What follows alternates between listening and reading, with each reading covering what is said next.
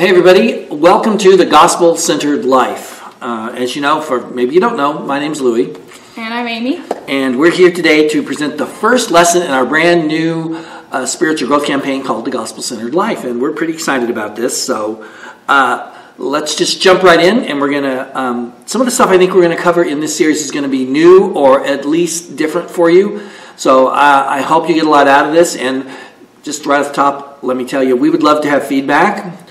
So if you watch this, please let us know what you think. You know, if you got any things to say that about, you know, if she does something that you don't like, tell me. And if I do something you don't like, tell her. And then it'll be easier for you that way. Okay, so here's the big idea of lesson one. Each lesson is going to have a big idea just to help you get started. The big idea is, starts with Colossians 1 6, which says, Which has come to you, as indeed in the whole world it is bearing fruit and increasing, as it also does among you, since the day you heard it and understood the grace of God in truth. The gospel is bearing fruit. That's what the Bible teaches. That's what Paul says. And it's increasing. And if that's true, then that means that it should touch every area of our lives. Every single part of us. Not just our religious part, but how we, how we are at work, how we are at school, everywhere. And that's the big idea. We want to look at, start to look at at least, how the gospel impacts and penetrates every single part of our lives and how we can help it to increase more and more within each and every one of us. Let's open with prayer. God, I just uh, I thank you for this study. I thank you for the power that is the gospel message. And I pray, God, that if there's anybody watching these videos or taking part in, in the small groups or, or coming to the sermons to listen to this, the message, God, we, we ask that the gospel would take on new meaning for everyone um, who's a part of this spiritual growth campaign. We ask that you would deepen our understanding of what the gospel means. And Lord, we, we ask that it would transform us in ways that we have yet to experience. And uh, we just ask that it would penetrate every part of our lives and that we would leave this study uh, feeling closer to you, um, more dedicated to you, and more changed by your gospel message. In Jesus' name, amen. Amen. All right, well, let's go ahead and get started. And um, by the way, if you're watching this online, if you happen to come across these videos online on YouTube or wherever, and you uh, don't have a copy of the lesson plans, those are all available for free at ChristChurchOnTheRiver.com. Go to our website, click Spiritual Growth Campaign link up on the top, and go from there. Okay, first point of this lesson is, is that as Christians, we often use the word gospel without fully understanding it. Now, I have to say, I was guilty of that for years because for years growing up, to me, the gospel was synonymous with evangelism. Hmm. And so I thought when you said gospel, you were going to tell me, you were just going to evangelize me again. And I was like, well, I don't need to hear that because I'm already a Christian. Yeah. But the gospel means more than that. Yeah, I mean, I hear gospel, and I always thought of a certain type of music Oh, that you yeah. hear. There you know, or sometimes the gospel you think of as it's the Bible. That's Yeah, just okay. the word of God. It's the whole thing, and that's Right. it. And it's sort of, Right. you know, I think you miss the simplicity that is the gospel message. And, and how it really filters through in, in everything that we're supposed to be doing. But there is an outline, there is some simple points that should be included, I think, in every gospel message. Oh, absolutely, yeah. And you might even think the gospel is like the gospel of Matthew, Mark, Luke, or John, but it's True. but it's more than that. It's a lot more than that. The gospel is really the foundation upon which everything grows in our spiritual life. So, on your outline, you'll notice we have two things, uh, a couple of things here, actually three things because I can count, um, that we want you to know. And the first one is the gospel is the power of God. The power of God.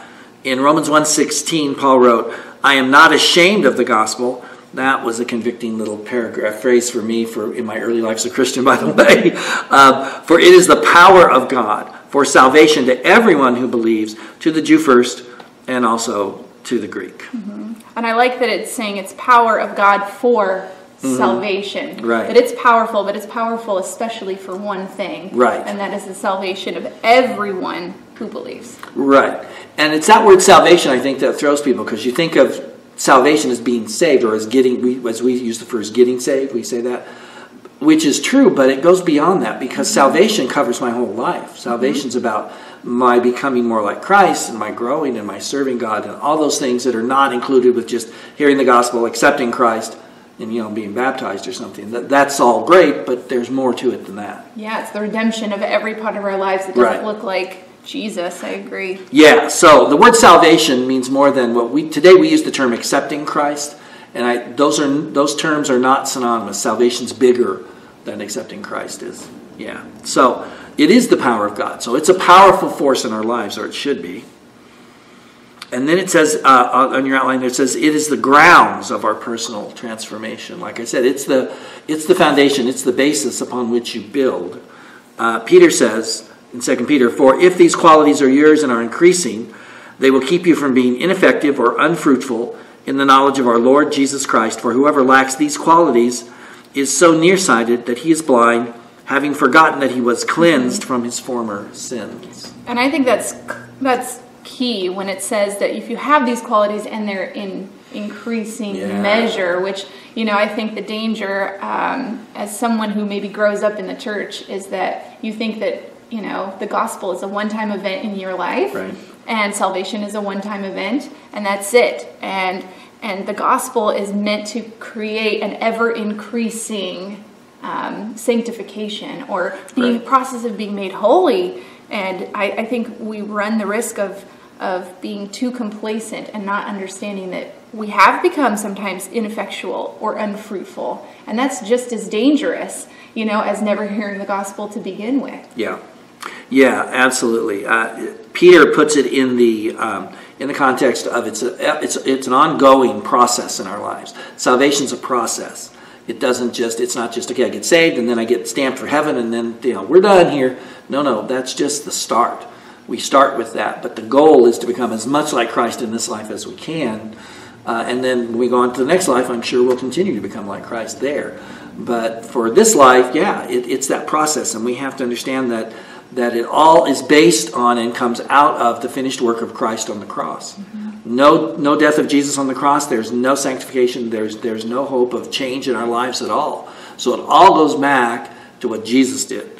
And that's a critical concept to keep in your mind, I think, when you think about the gospel. It is the grounds of my personal transformation. If I'm stuck, I need to go back and look at what I'm thinking and how I'm feeling and what I believe about what happened to Jesus on the cross and how that relates to me.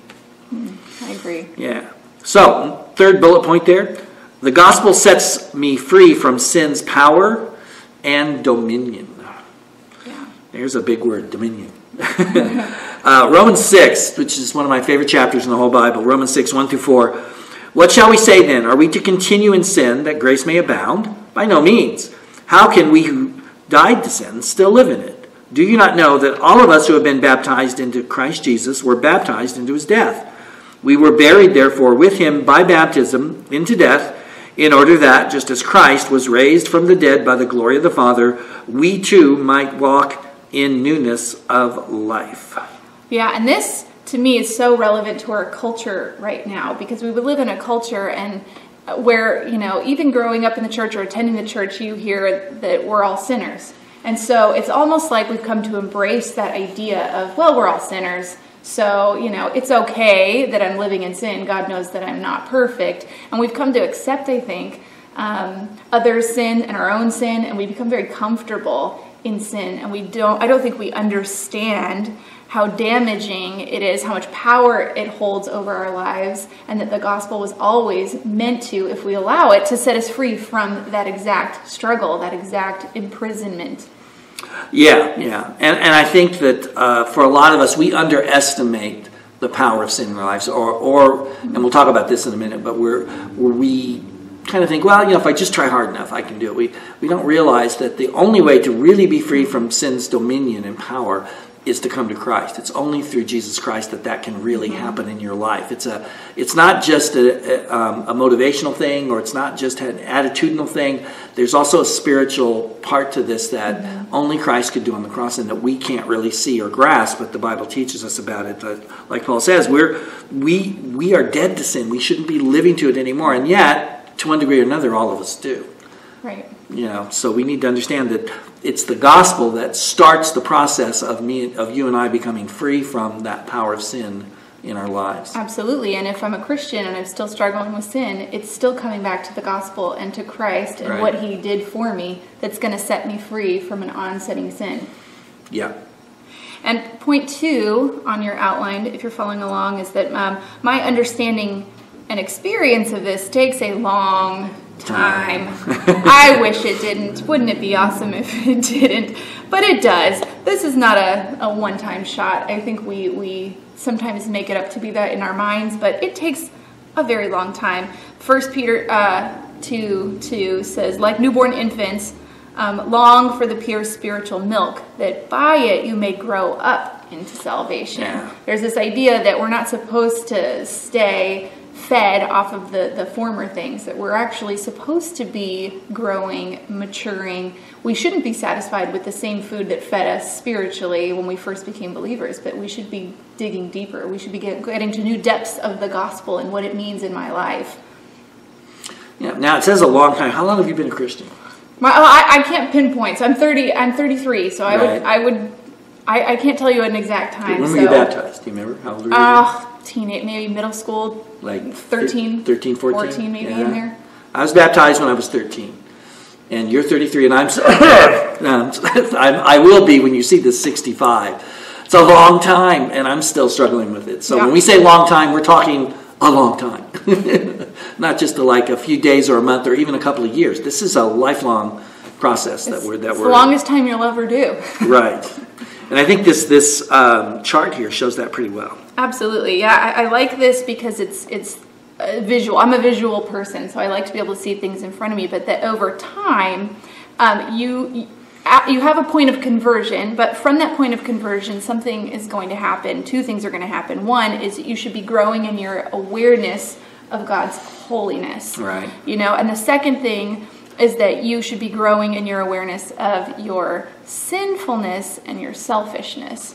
Two things that, well, I think we, we're all in favor of growing in the awareness of God's holiness. Yeah. I don't think we really like the idea of, of growing in the awareness of our sinfulness. Yeah, not so much. It's not a popular idea. I can't imagine why. yeah. And when you see your sinfulness and God's goodness, you two things are going to become really clear. One is that you'll begin to see God as He really is, not as you maybe want Him to be, or you know, it's not uh, the kind of God where you can, you know, like visit a buffet and take and pick and choose. You begin to see God rightly as He actually is, and and that will mark your life. Um, I love Isaiah 55, 8 and 9. It says, uh, For my thoughts are not your thoughts. This is God speaking. Neither are my ways, your ways, my ways, declares the Lord. For as the heavens are higher than the earth, so are my ways higher than your ways, and my thoughts than your thoughts. Yeah, and, and that's the thing, especially I think today in our culture, where people, people when people say to you, "I believe in God," it, you almost have to say which one or what Yeah. kind is He, because even Christians do this. They pick and choose what they like. So I like this, I like that, but I don't like that. I want that, and that's not really coming to know God who as He really is. That's coming to me making God in my image instead of realizing I'm made in His. And so, yeah, this is a real challenge for spiritual growth. I think. I think so. And um, the second is, is similar in that I see myself as I really am. Yes. And this one's quite sobering because I think that none of us sees ourselves very accurately. We all have an image that um, we we project and we lie to ourselves all the time Yeah. about how well we're doing, how spiritual we are, how close to God we are. You know, um, and sometimes it's maybe even a more negative and shattered image than is reality. You know, but well, the closer we get to God, the more we begin to understand His holiness, the more we realize, oh, I don't, I don't match that standard. There's a, Right. there's a discord, there's a dissonance, you know, Yeah. and you can see that with a lot of people in in scriptures that when they were in God's presence, they were so overcome by their sin, you know, Mm-hmm. Yeah. like uh, Peter when Jesus took Right. him out fishing in the boat, and I always thought it was such a strange reaction when he said, "Get away from me, I'm a sinful man." Right. when he saw him do these miraculous things. But Yeah. when you're aware of the holiness of God, you're also aware, I don't measure up in any way. Yeah, and I, I, I think that people, because we're fallen people, we either make ourselves worse than we are or better than we are. We don't get right where we are, and it's, it's one of the things the Holy Spirit does in our lives is help us to see ourselves as we really are, because you can't really change unless you know where you're really at. That's true. Then if you're if you're deluded, I'm better or I'm worse, then you're still you're still deluded. Mm-hmm. So that's the thing that God has to do in our lives. Yeah, in Jeremiah 17, 9 and 10, on your outline, it says, The heart is deceitful above all things and desperately sick. Who can understand it? I, the Lord, search the heart and test the mind to give every man according to his ways, according to the fruit of his deeds. Like this is I this is a very powerful verse and some very powerful language. The, the human heart is yeah. it, it, will lie to you. It will tell you all kinds of things that it, you know you want to, to believe, right. and you just can't trust yourself. Which is why it's you know it's hard, but we need um, other people even in our lives that can tell us hard truth yeah. And we need the Holy Spirit, especially, because even the people you care about most are still going to lie to you. Sure. they're still going to tell you what you want to hear, and they're going to guard your feelings. And Absolutely. and God God cares more about our righteousness than our feelings. Yeah, and that's why we have the Bible, because the Bible is the same. It's objective. It's there. It doesn't change, and that's really important. Because number three on your outline, uh, I must avoid my natural tendency to shrink the cross. Mm-hmm. Now you'll see you've got another little. Uh, graphic there, which we'll probably put on the screen. And it's basically the same, but you notice the cross isn't touching both ends of the arrow. It's not, it's not reaching all the way to that V between God's holiness and my sinfulness. I've shrunk it down now, and we're going to talk more about this in future lessons because I, I, I, I can't really face how great God is, like you said, and it's really hard in certain areas of my life to face how, how messed up I am. Mm. So I want to be in denial about both of them it's kind of a strange thing. And so what happens is then that we tend to do one of two things. We either, or both, we minimize God's perfect holiness. I, I hear this a lot with people. Well, you know, God understands because I'm only human and blah, blah, blah. Well, what if he doesn't? then where, where do you go from there? you know? So we bring, we try to bring God down just a little bit. Mm-hmm. Or the other is like it. We right. we will elevate our own righteousness. Yes, we'll, yeah. we'll we'll you know think that we're maybe not as bad off. Either we lie right. to ourselves, or we really inflate uh, our good qualities yeah. in our own eyes. Or yeah, yeah. I, I, you see this. I hear it myself. I hear it when I counsel people and talk to people. You hear it all the time with people. Well, that's well, I'm not that bad of a guy. Yeah, you know, I, I did A, B, and C, but but I'm really a good person. I have people say this to me all the time, and they'll they'll tell you terrible things that they've done. I mean, really some of them really bad if they were drug addicts and they were stealing from their family and they were doing this and that. They were selling their bodies for sex to get money for drugs. And then they'll say, but I'm really a good person. Mm-hmm. Well, how low do you have to go to be a good person nowadays? I mean, at some point, you just why don't you just say, you know, I'm really not a good person? What's but we don't want to say that. Mm-hmm. We fight that really hard. And that's you know, the, when we go to the jail, one of the questions that we always ask you know, is you know, number one, do you know what would happen to you if you died today? Right. And the second thing is, you know, what do you need to do in order to inherit eternal life? And you would be amazed at the things people come up with of, well, I've got good intentions. God knows my heart. I have right. good intentions. I, you know, I'm not as bad as this person over here. Well, I've never killed anybody. You know, you're like, whoa, it's just, right. standards just tend to get lower and lower exactly. sometimes. But, you know, it's when when faced with the gospel truth that we realize that oh no we're we're brokenness. We need a savior. If we right. don't know our brokenness we never know that we need a savior. Right. And one of the signs we need a savior is you wouldn't be making those kind of excuses if somewhere deep down inside you you didn't know that you needed a savior and that you were broken. So exactly. there you go. So final point here is growing in the gospel means resting in jesus as our perfect redeemer that we we, we quit striving, we mm-hmm. quit trying to make excuses, we quit doing all these things, and we just trust Christ. Look at this verse. And because of him, you are in Christ Jesus, who has become for us wisdom from God, righteousness, that means a right standing with God, and sanctification, that means becoming more like Christ, and redemption. Mm-hmm. Boom, he, he's everything. He's all. Jesus is all we need, really and truly. That's actually a something straight out of the Bible. That's true, and I think that it's a mark sometimes. I like the word resting there because yeah. it, it has this idea that there's that you're at peace, right. that there's that there's you know a, a, resting. You're not. It doesn't feel like a struggle. It doesn't feel frustrating. And I right. think when we're feeling all that kind of struggling, frustrating, it's probably evidence that we're not doing that well. That we might be mm-hmm. missing parts of the gospel or misapplying them. Yeah, I totally agree that that, that inner struggle is, is a signal to you that you're not really trusting. You may be saved. I'm not saying, by the way, you're not saved. We're just saying that you're not enjoying the full benefits that you can have from your salvation because you're mm-hmm. still trying to do stuff yourself that Jesus did on the cross. That's why he said, It is finished. Yeah. It was finished. It's done. It's over. I just have to trust him for all that, rest in him for all that. And he is the one and only perfect Redeemer that you can have. So that's a little bit of what we want to talk to you about today. Um, following this, you've got some application exercises and some things to do in your lesson. So we hope that you enjoy that. Like we said, we do want some feedback from you. So please let us know what's going on and uh, join me, please. Uh, we'll just close in prayer. Father, I just pray you'll bless those that have watched this teaching tape, and uh, I just pray, God, that you will help the, the groups, whether they're small groups or individuals or larger groups that, that see this, as they move on into the exercises, that they'll work on applying this to their lives. God, it's hard for us to admit that we have this tendency to shrink the cross, yet it's critical that we see and understand it if we're going to stop it and just simply rest in Christ. So help us to do this, Lord, we pray. In Jesus' name, amen.